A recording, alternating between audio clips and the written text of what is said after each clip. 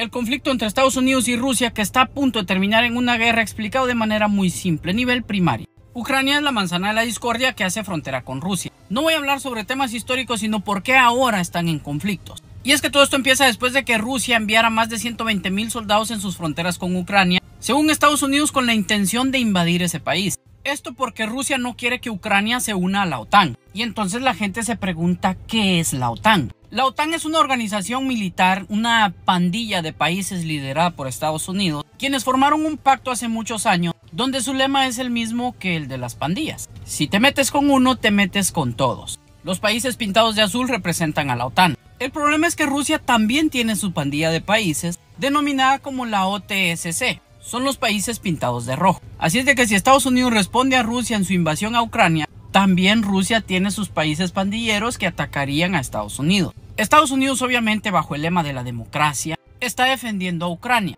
aunque muchos expertos que analizan el tema claramente llegan a la conclusión que es evidente. Si Ucrania pertenece a la OTAN, sería un punto muy estratégico militarmente en contra de Rusia. Y esa es una de las razones por la que Rusia por ningún motivo quiere permitir que Ucrania sea parte de la OTAN. Así que según medios de comunicación, Vladimir Putin le ha dicho a Joe Biden que la única condición por la que él no invadiría Ucrania sería porque la OTAN le dé garantías de que Ucrania jamás pertenecerá a esa organización de países. Si Putin no recibe esas garantías, lo más probable es que invada a Ucrania, provocando así que Joe Biden tenga que tomar una decisión militar aun cuando Ucrania no pertenece a la OTAN. Es decir, que básicamente Estados Unidos se metería en un conflicto por un país que no pertenece a su organización. Y ese es el enojo de Rusia, que Estados Unidos está defendiendo a un país con el cual no existe el pacto de la OTAN. Y por esa razón la guerra que se desataría sería únicamente entre Estados Unidos y Rusia.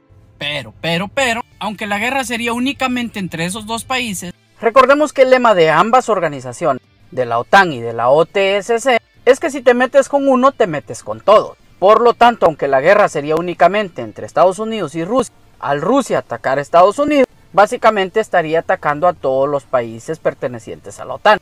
Y si Estados Unidos ataca a Rusia, básicamente también estaría atacando a todos los países pertenecientes a la OTSC, provocando una guerra entre estas dos grandes pandillas, que de no resolverse, entonces podrían involucrarse países aliados de países como Estados Unidos o Rusia, que no pertenecen a esas pandillas, pero que son aliados. China, por ejemplo, que ahora guarda silencio por un tema geopolítico, que obviamente al verse obligado a intervenir estaría siendo aliado de Rusia, algo que a Estados Unidos no le conviene ni siquiera en un juego de Call of Duty.